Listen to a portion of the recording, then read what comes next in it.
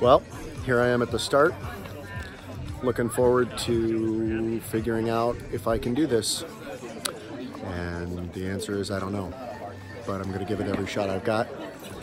I'm gonna run slash hike as hard as I can. And hopefully 10 or 12 hours later, I'll be back here.